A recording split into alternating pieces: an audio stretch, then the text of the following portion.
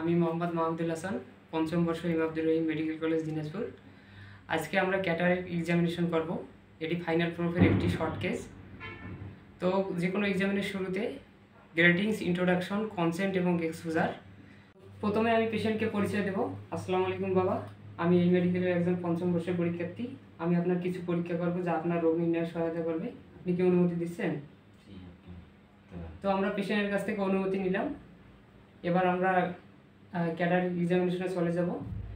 তো ক্যাটারেক এক্সামিনেশনের জন্য আমাদের কিছু পয়েন্ট মনে রাখতে হবে। প্রথমে আমরা ভিজুয়াল একুইটি দেখব দেন আমরা আইরিশ শ্যাডো দেখব দেন পিপুলারি লাইট রিফ্লেক্স দেখব দেন কালার অফ লেন্স দেখব, এবং ইন্টার অকুলার প্রেশার এবং অকুলার মোটিলিটি দেখব। তো প্রথমে আমরা ভিজুয়াল একুইটিতে যাব। তো প্রথমে আমরা ধরে নিলাম যে পেশেন্টের ডান চোখে ক্যাটারাক্ট রয়েছে। ও প্রথমে আমরা ইন্সপেকশন করব।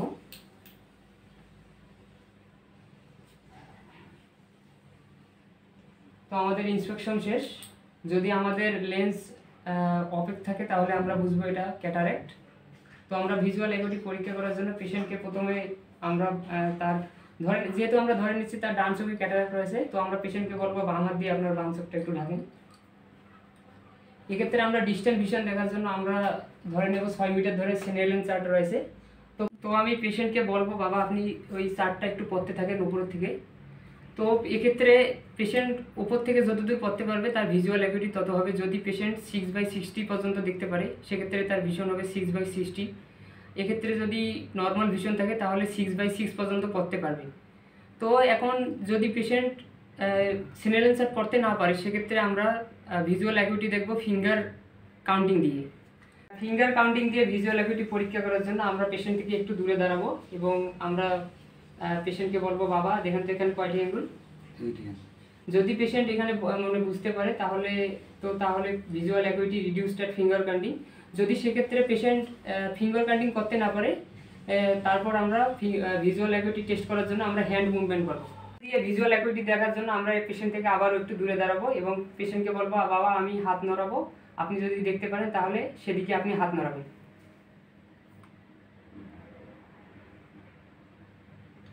তো যদি মানে পেশেন্ট হ্যান্ডের মুভমেন্ট দেখতে পারে, তাহলে visual acuity reduced at hand movement যদি পেশেন্ট হ্যান্ড মুভমেন্টও বুঝতে না পারে, সেক্ষেত্রে আমরা ভিজুয়াল অ্যাকুইটি দেখব পারসেপশন অফ লাইট এবং প্রজেকশন অফ রে দিয়ে। সেক্ষেত্রে আমরা পেশেন্টের চোখে পারসেপশন অফ লাইট দেখার জন্য পেশেন্টের চোখে আমরা লাইট ফেলব এবং পেশেন্টকে জিজ্ঞেস করব, বাবা, আপনি কি লাইট দেখতে পাচ্ছেন? লাইট দেখতে পাচ্ছি। এটা আমরা পারসেপশন অফ লাইট দেখলাম। এবার প্রজেকশন অফ রে দেখার জন্য পেশেন্টকে বিভিন্ন ভিজুয়াল ফিল্ডে আমরা লাইট ফেলব এবং পেশেন্টকে জিজ্ঞেস করব বাবা লাইট কোন দিক থেকে আসতেছে? বাবা লাইট কোন দিক থেকে আসতেছে? উপর থেকে। তারপর কোন দিক থেকে আসতেছে? ডান দিক থেকে তারপর? বাম দিক থেকে। তারপর? নিচ থেকে।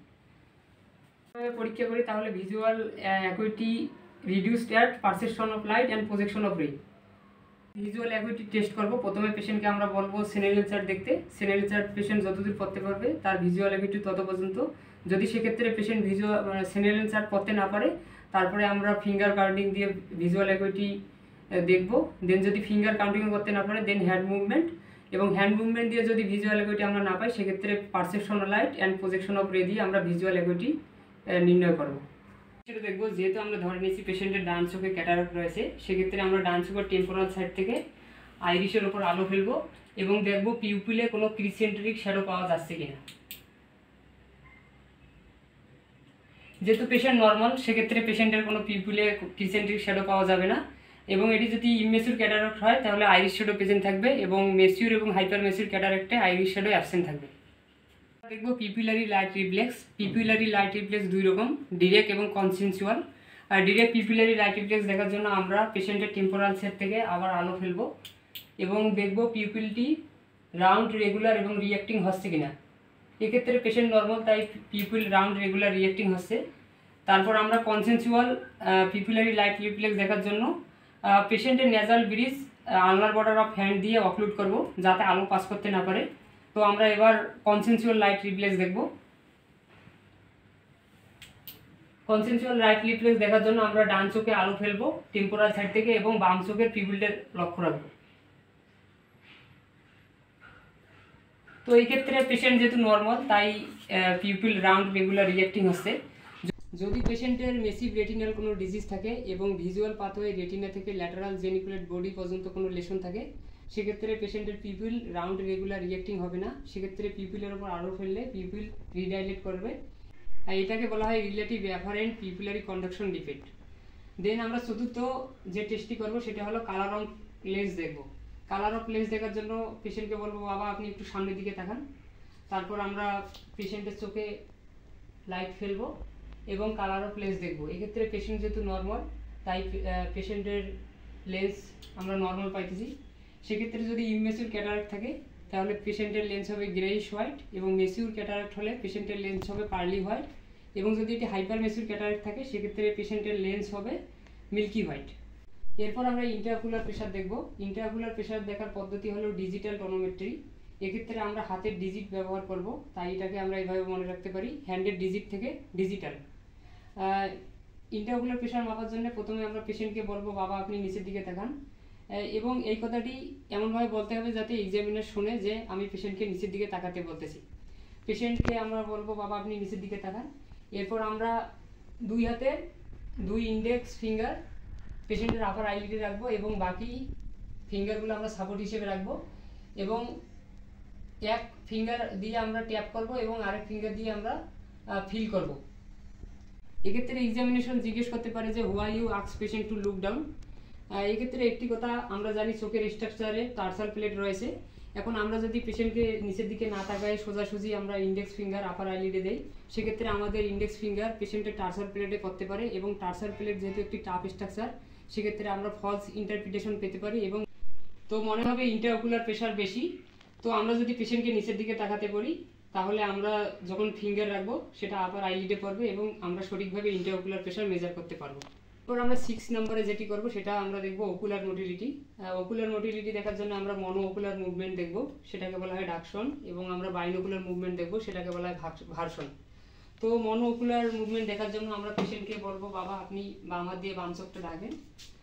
তারপর আমরা ডান চোখের মুভমেন্ট দেখার জন্য পেশেন্টের সোজাসুজি হাত রাখব এবং পেশেন্টকে বলব, আমার আঙ্গুল যেদিকে সরবে, আপনি সেদিকে তাকানোর চেষ্টা করবেন। যদি তাকাতে মানে দেখতে সমস্যা হয়, তাহলে সেক্ষেত্রে আপনি আমাকে হাত তুলে জানাবেন।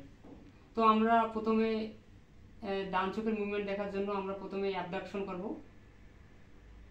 তারপরে অ্যাডাকশন তারপরে ইলিভেশন ডিপ্রেশন তো আমরা মনোকুলার মুভমেন্ট দেখলাম, এটাকে বলা হয় ডাকশন এটা যেহেতু পেশেন্ট নর্মাল সেক্ষেত্রে পেশেন্টের মনোকুলার মুভমেন্ট ঠিক রয়েছে।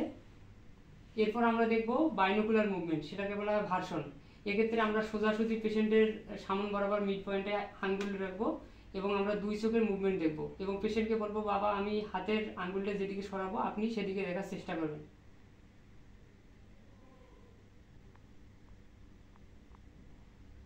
মোটামুটি এখানে এই শেপে আমরা দেখার চেষ্টা করব বাইনোকুলার মুভমেন্ট তো আমরা দেখলাম যে বাইনোকুলার মুভমেন্ট এখানে পেশেন্টের ঠিক রয়েছে। এবার যদি কোনো পেশেন্টের মনোকুলার এবং বাইনোকুলার মুভমেন্ট যদি ঠিক না থাকে, সেক্ষেত্রে আমরা বুঝতে পারব যে পেশেন্টের এক্সট্রাকুলার মাসেলে প্যারালাইসিস রয়েছে এবং এক্ষেত্রে আমরা যদি এই অবস্থায় পেশেন্টের ক্যাটারাক্ট সার্জারি করি, সেক্ষেত্রে পেশেন্টের অবস্থা পরবর্তীতে আরও হ্যাম্পার্ড হবে। তো আমরা যদি ক্যাটারাক্ট এক্সামিনেশনটাকে সামারাইজ করি, তাহলে আমরা প্রথমে পেশেন্টের ভিজুয়াল অ্যাকুইটি দেখব। ভিজুয়াল অ্যাকুইটিতে আমরা প্রথমে ডিস্টেন্ট ভিশন দেখব। যদি পেশেন্টের আমরা ডিস্টেন্ট ভিশন না পাই, সেক্ষেত্রে আমরা ভিজুয়াল অ্যাকুইটি ফিঙ্গার কাউন্টিং দিয়ে দেখার চেষ্টা করব। এবং ফিঙ্গার কাউন্টিং দিয়ে যদি না পাই, তাহলে আমরা হ্যান্ড মুভমেন্ট এবং হ্যান্ড মুভমেন্ট যদি দিয়ে ভিজুয়াল অ্যাকুইটি না পাই, সেক্ষেত্রে আমরা পারসেপশন অফ লাইট এবং প্রজেকশন অফ রে দিয়ে ভিজুয়াল অ্যাকুইটি দেখার চেষ্টা করব। যদি সেক্ষেত্রে আমরা পারসেপশন অফ লাইট এবং প্রজেকশন অফ রে না পাই, তাহলে আমরা বলব যে no perception of light then আমরা দ্বিতীয়ত দেখব আইরিশ শেডো আইরিশ শেডো আমরা ইমেসিউর ক্যাটারাক্টে প্রেজেন্ট পাবো এবং মেসিউর এবং হাইপার মেসিউর ক্যাটারাক্টের ক্ষেত্রে আইরিশ শেডো আমরা প্রেজেন্ট পাবো। দেন আমরা দেখব পিপুলারি লাইট রিফ্লেক্স এক্ষেত্রে আমরা ডিরেক্ট এবং কনসেনচুয়াল পিপুলারি লাইট রিফ্লেক্স দেখব। যদি মেসিক কোনো রেটিনাল ডিজিজ থাকে, সেক্ষেত্রে পিপুলারি লাইট রিফ্লেক্স আমরা পাবো না।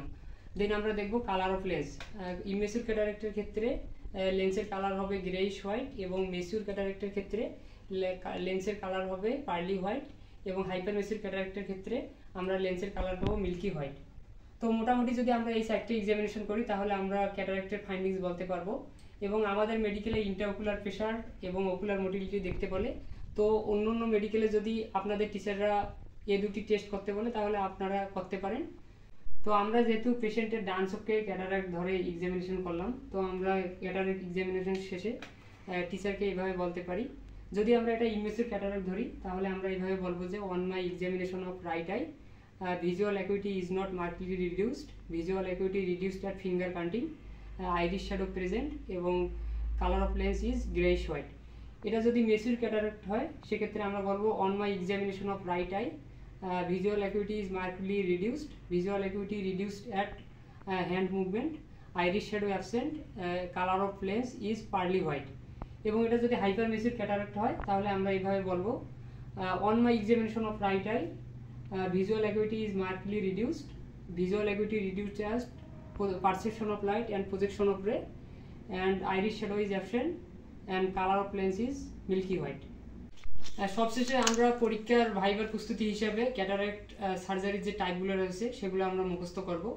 এক্ষেত্রে স্যার জিজ্ঞেস করতে পারে যে কীভাবে আমরা সার্জারি করি। সেক্ষেত্রে আমরা উত্তর দেবো যে extracapsular cataract extraction with posterior chamber intraocular lens implantation এর মধ্যে অনেক টাইপ রয়েছে large incision small incision phacoemulsification এর মধ্যে ফ্যাকো ইমালসিফিকেশন মডার্ন মেথড তো সবশেষে আমরা পেশেন্টকে ধন্যবাদ দেব এবং এক্সামিনেশন শেষ করব।